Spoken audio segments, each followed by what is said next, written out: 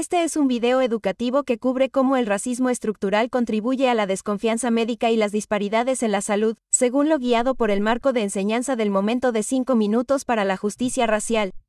El momento de 5 minutos por la justicia racial es un marco de enseñanza para promover la equidad en salud y la justicia racial en la educación médica. El marco se basa en un enfoque de cinco pasos que analiza el contexto clínico y de aprendizaje, el estándar actual de un diagnóstico o tratamiento médico, las raíces históricas y el sesgo de ese estándar, las contribuciones a las disparidades en salud y los pasos a seguir para promover la equidad en salud. Este marco ofrece a los educadores una manera estructurada de hablar sobre este tema de manera concisa en escenarios clínicos comunes.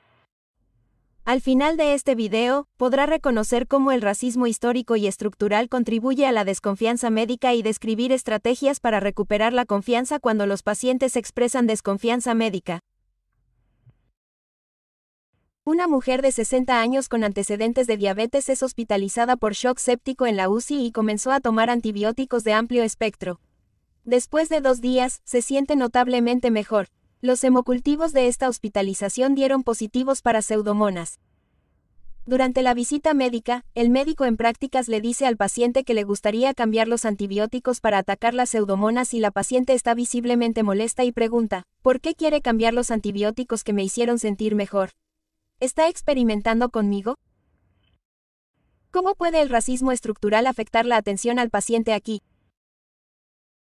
Estas conversaciones son difíciles de tener. Observemos cómo estos dos médicos navegan esta conversación. Esta es una buena oportunidad para que hablemos sobre el complejo y delicado tema de la desconfianza médica. Esto no fue algo que aprendí bien durante mi capacitación, pero es importante que hablemos de ello, ya que la confianza es la piedra angular para construir relaciones efectivas con los pacientes y sus familias. Dediquemos unos minutos a hablar de esto. Me encantaría escuchar tu opinión también. Comencemos con el término desconfianza médica. ¿Cómo lo definirías? Creo que simplemente significa que el paciente no confía en su médico ni en el sistema de atención médica en general. Aunque comúnmente definimos la desconfianza médica como falta de confianza, lo que en realidad es es la creencia del paciente de que los médicos o los sistemas de atención médica no actúan en el mejor interés del paciente. La desconfianza puede darse a nivel interpersonal entre un paciente y un médico, pero también a nivel institucional, Ahora estamos hablando de cómo los individuos o incluso las comunidades experimentan y responden a los sistemas de salud. ¿Por qué algunos pacientes creerían que los proveedores de atención médica no actuarían en el mejor interés del paciente? Esa es una pregunta excelente y complicada. El problema con el término desconfianza médica es que culpa y responsabiliza erróneamente al paciente, más bien, deberíamos pensar en la desconfianza médica como un mecanismo protector y adaptativo contra un sistema que ha demostrado una y otra vez que no es digno de confianza. ¿Puedes pensar en algunos ejemplos históricos?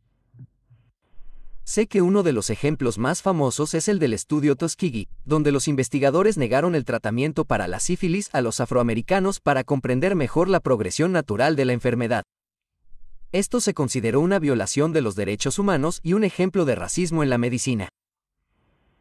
Absolutamente. La medicina tiene una larga historia de maltrato a poblaciones vulnerables, como la esterilización forzada de mujeres nativas americanas y puertorriqueñas y los experimentos de radiación de Cincinnati. Pero la explotación histórica no puede explicar toda la desconfianza médica. Las experiencias actuales personales o intergeneracionales de discriminación y opresión, así como los encuentros negativos con figuras públicas como las fuerzas del orden, puede alimentar la desconfianza médica. Todo esto quiere decir que están sucediendo muchas más cosas que las que se pueden ver y que la desconfianza médica es un mecanismo saludable de supervivencia y resiliencia. Es natural que los pacientes se pongan en guardia contra un sistema y una sociedad que ha restringido perpetuamente el acceso a los recursos, la vivienda, el empleo y la atención médica. Estoy empezando a entender por qué los pacientes y por qué incluso ciertas comunidades no creerían que el sistema médico está siempre de su lado. Me imagino que puede impedir que los pacientes consulten a sus médicos, pero ¿cómo afecta a los resultados de salud? La desconfianza también puede tener un impacto negativo significativo en la salud y el compromiso, lo que contribuye a las disparidades en salud. Conduce a retrasos en la búsqueda de tratamiento, a un menor uso de los servicios de salud preventivos y a una menor adherencia a los consejos y prescripciones médicas.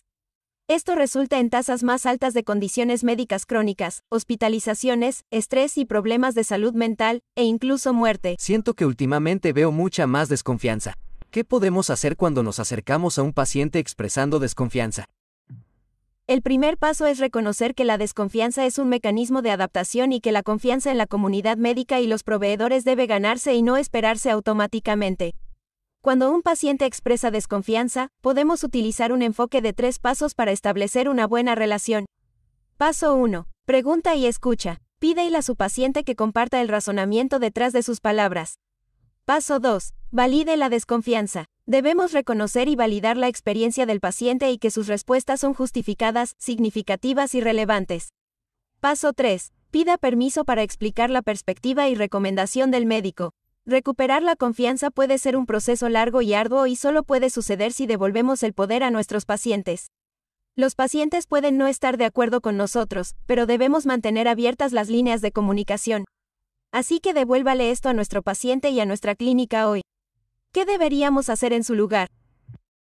De nuestra conversación, lo que he aprendido es que la desconfianza médica es una respuesta resiliente y protectora a un sistema que no siempre ha sido digno de confianza.